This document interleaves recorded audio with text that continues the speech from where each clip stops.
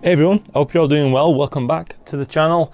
For the first time in a while, really, actually doing some astrophotography for real. Uh, we've got a clear night ahead of us, and I've got some lovely new gear to test from Player One. We're talking about the Filter Drawer Max system, their FHD OAG Max system also, and the new Sedna M guide camera. This is all going to be paired up with the Player One Poseidon C Pro cam, uh, and it's all riding on my Esprit. Looking forward to testing this thing out really. Uh, I've managed to get a brief break in the clouds on an unrecorded night. Uh, it was really just too brief to bother, but it was enough that I could get the, you know, the guide camera and off-axis guider par focal with the main cam. So at least tonight I can just enjoy it and see what it's like in day-to-day -day usage really uh, and get to grips with it. So I'm gonna get this last, if I can get up these stairs without falling off last turnbuckle off, excuse the noise, and see how this roof rolls for the first time in a while. Let's go.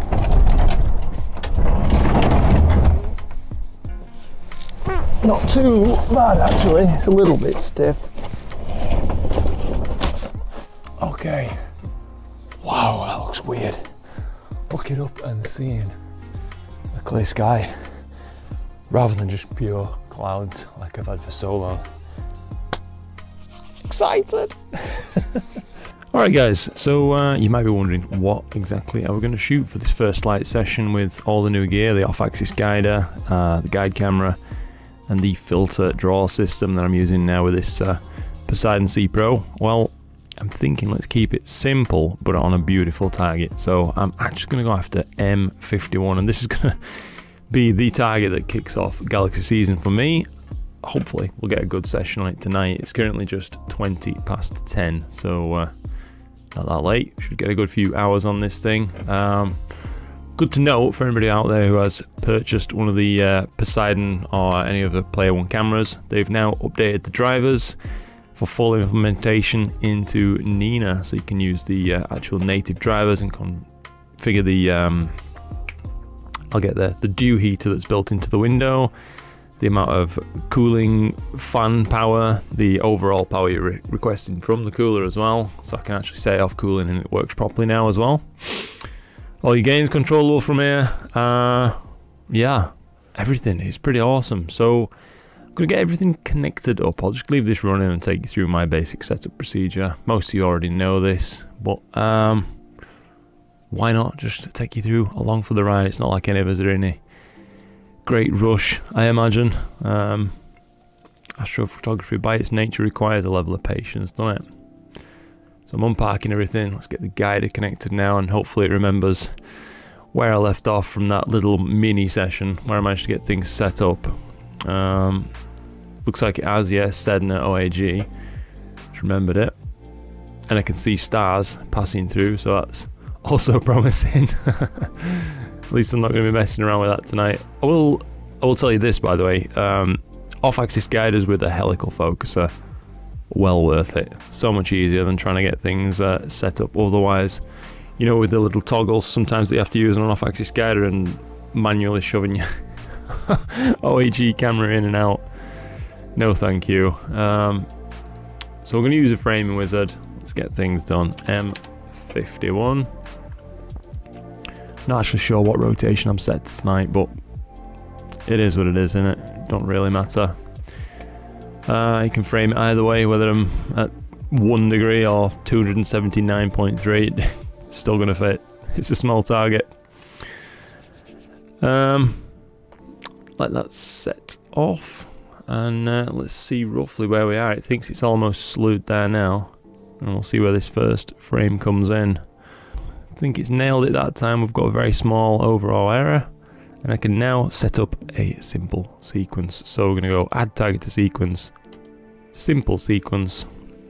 I'm going to work with this actually. So I'll set up a loop with, uh, in case I get some more time on this, I will tell it to salute or center and start guiding.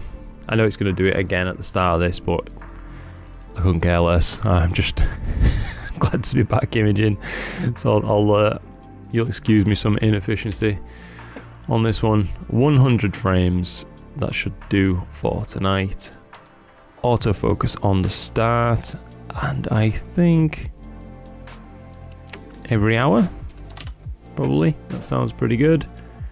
I'm to go with the time. I think I'm to go for three minute exposures.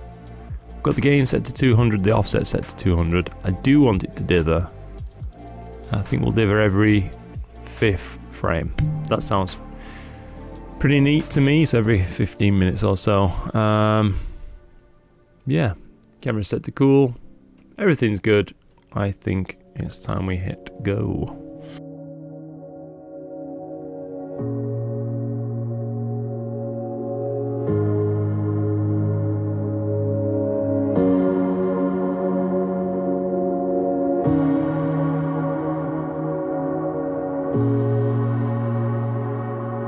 Now then guys, I decided it's time to give you a bit of an update. Uh, not as originally planned, just a few exposures in.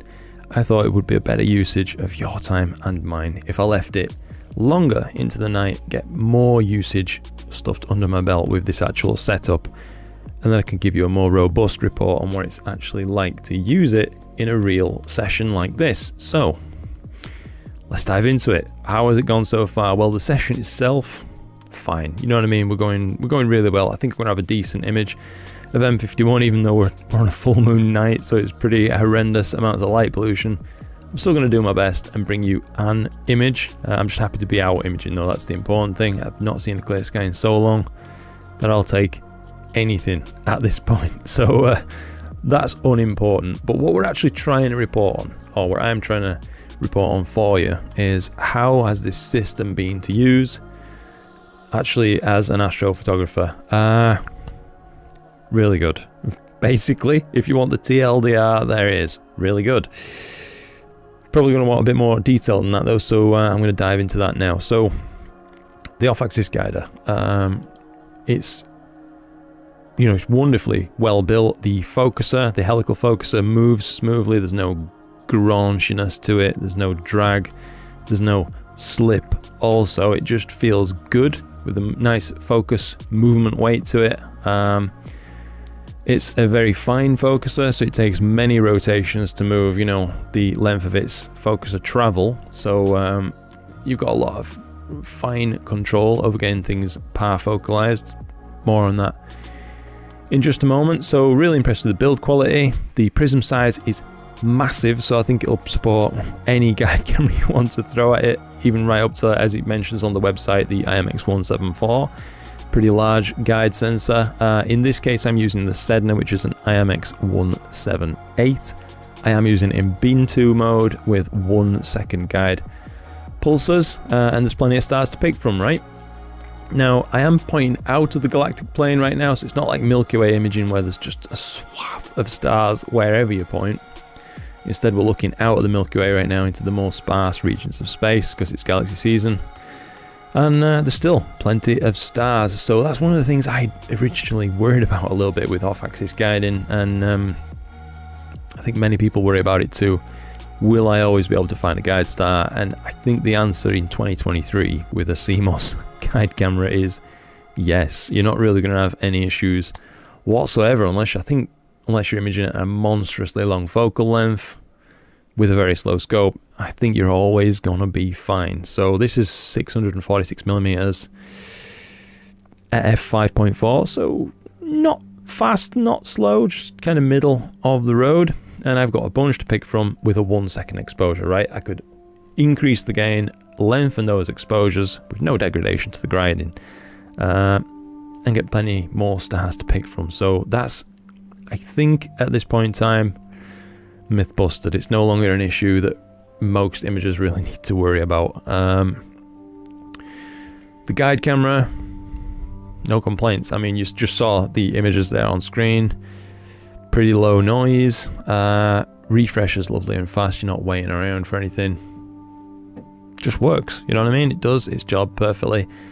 And uh, if you had interest in that kind of thing, you could have it kind of double up as a lunar and planetary imaging camera too, because I uh, think it'd do a wonderful job at that with those really small pixels. You'd get a lot of spatial resolution from a uh, quite a small optic. Um, you'd be imaging very fine sampling ratios with it. Now, the filter drawer system, everything goes in time after time, nice and repeatably. What is it to say? It's a filter drawer and it does what it's intended to do. It lets you swap filters quickly and easily. It comes with everything you're going to need in the box. Top marks, you know what I mean? It's a pretty simple piece of kit, but it does its job well, so I can appreciate that. As to installing everything, putting it all together, regrettably, I didn't record that, and I wish that I had done because I'd have been uh, able to overlay some footage now and let you know. But all the same, I could just tell you what it was like. Pretty easy, not the absolute simplest thing, but thankfully, Player One have released some videos to talk you through exactly how to put everything together. Um, which I used and it worked fine. You know what I mean? Everything's screwed together. It's square.